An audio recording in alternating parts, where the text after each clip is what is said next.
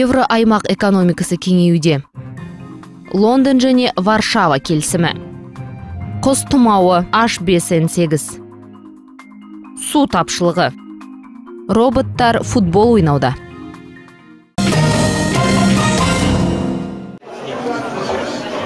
Европалық орталық банк төрағасы марио драги евро аймақ экономикалық және саяси белгісіздік салдарынан ойдағыға қарағанда әлдеқайда баяу қалыпқа келуде. Соған қарамастан европалық орталық банк төрағасы арнайы бағдарламаға байланысты қалыпқа келу бөлшектеп жалғаса береді деп сөзін жалғастырды.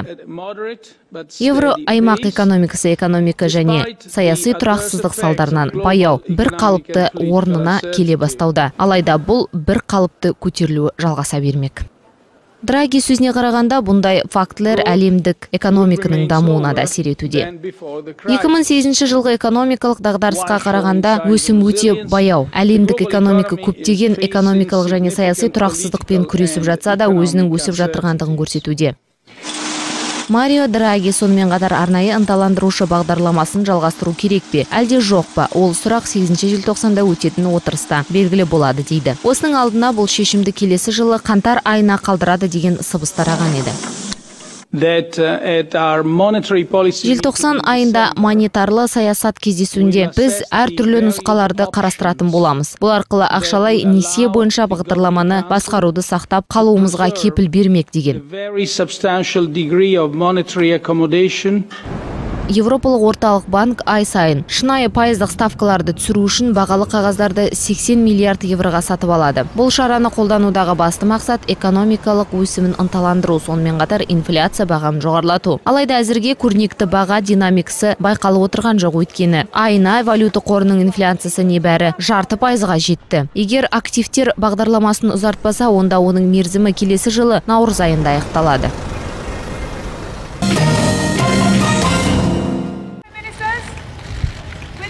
Ұлыбритания премьер министрі тереза мэй поляк азаматтарының жағдайын шешу үшін тезірек варшавамен келісімге отырғысы келетінін баяндады. Бұл сұрақ британдықтар референдумда ұлыбританияның евроодақ құрамынан шығуын қолдағаннан кейін туындап отыр. Өзінің польшалық қызметтесі бетта шидло мэймен кездесуде бұл келісім екі жақтың азаматтарының құқықтарын кепілдік беруі тиіс екендігін айтты.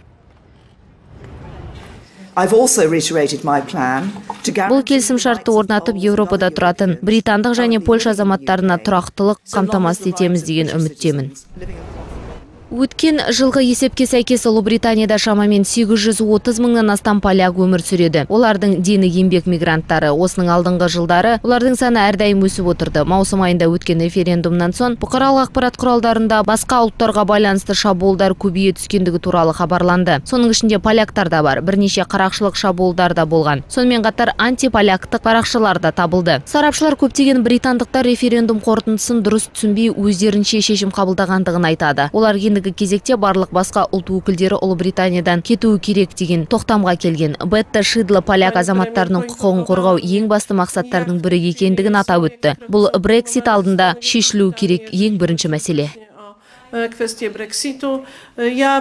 Премьер министр ханым маған брекситке байланысты келесі қадамдардың қандай болатындығын айтып берді. Мен бұл жерде басты мәселе ұлыбританияда мекен ететін және жұмыс жасайтын поляк халқының құқығы екендігін ескерттім. Польша евроодақ құрамына 2004 жылы кірді. Ол әрдайым лондонды қолдап отырды. Сонымен қатар бетта шидло үкіметі ұлыбританияны евроодақпен өзінің саясатында ең басты сиқыры ретінде белгіледі. Осының алдындағы орталық кабинет германияға негізделген еді.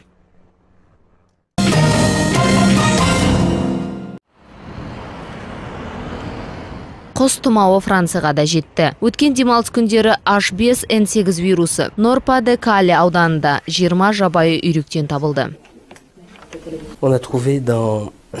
Біз өзеннен бірнеше үйректі мүрдесін таптық. Біз тест сараптамасын жасап h 5 n 8 вирусын таптық. Бұл құс тұмауының вирусы. Осыған дейін ол франциямен шекаралас бірнеше еуропа елдерінде тіркелген еді.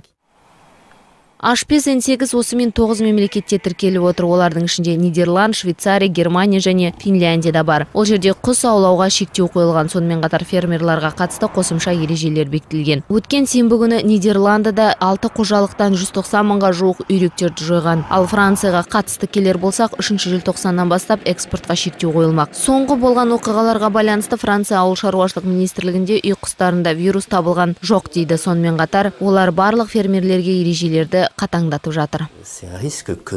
Үй құстарының жабайы құстардан ауруды жұқтыруы мүмкін. Біз оны жоққа шығара алмаймыз. Сондықтан да фермерлерді барлық ережелерді қаперлеріңе алғандарың абзал дейміз. Айта кеткен жөн бұл құс тұмауының h сегіз вирусы абырой болғанда әзірге адамдарда тіркелген жоқ.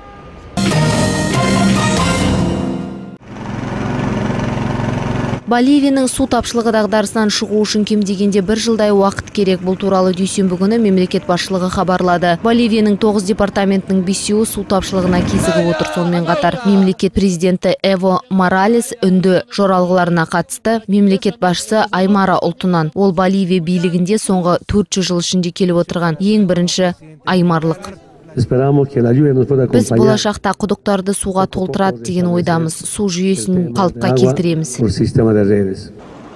боливиядағы қуаңшылық соңғы жүз жылдықтың ішіндегі ең ауқымдысы болып отыр. 21 қарашада мемлекетте төтенше жағдай жарияланды. Бұл 339 муниципалистердің 172-сі мемлекетте төтенше жағдай хабарлаған соң орын алып отыр. Ауыл шаруашылығымен қатар лапа секілді алып қалалардың да тұрғындары жапа шегуде. Краннан сулар екі күнде бір рет небәрі бірнеше сағатқа ғана қосылады. Ресми деректер бойынша су тапшылығына 125 отбасы кезіккен. Сонымен қатар 360 мың мал мен 300 мың гектар ауыл шаруашылық жері қауіпке төніп отыр. Сонымен қатар 360 мың мал мен 300 мың гектар ауыл шаруашылық жеріне қауіп төніп отыр. Боливиялықтар басқа су көздерін су іздеп әлек болып жатырған кезде үкіметтік емес ұйым өкілдері халыққа көмектесіп жағдай жасауда. Олар жағдайды былай түсіндіреді. проблема тек су дағдарысында болып отыр. Бұл су ресурстарымен басқаруда дағдарыс орын алып отыр. Олардың ішінде әрине климаттық өзгеріс те бар. Соның салдарынан су тапшылығы орын алып отыр.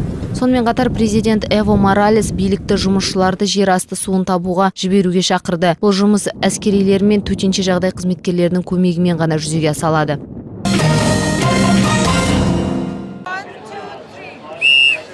футбол алаңында роботтар басты финал трофейі үшін күресуде. Бұл машиналар жас таланттардың туындылары. Олар халықаралық роботтар олимпиадасына қатысуда. Ол биылғы жылы делиде өтеді. Бұл жерде елу мемлекеттен төрт жүз елуге жуық команда бақ сынасуда финалға екі тайвандық команда шықты. Қорытындысында дауыл қанатты атты команда жеңіске жетті.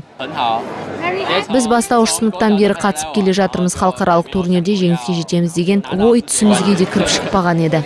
Олимпиада осымен 13 жыл қатарынан өткізіліп келеді. 2004 жылы қатысушы командалар саны 12 болды. Ал бүгінгі таңда жас техниктердің басын қосатын алып жарыстардың біріне айналып отырған жайы бар. Бұл жерде олар өздерінің тума таланттарының әлемге көрсетуге мүмкіндігі бар. Роботтар тек футбол ойнап қана қоймай төрт категория бойынша басқа да сайыстарға қатыса алады олар негізі творчестволық футбол және студенттік. Австралия командасы бұндай халықаралық аренада өз елінің атынан шығу өте қобалжытады дейді.